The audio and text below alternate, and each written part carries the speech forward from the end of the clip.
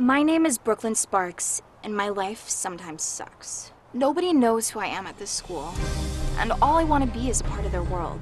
Lucky for me, things are about to change. Because what my classmates don't know is that I'm really a witch. And when I turn 16, my parents are unbinding my powers. And then everything I've ever wanted will be mine, including Asher.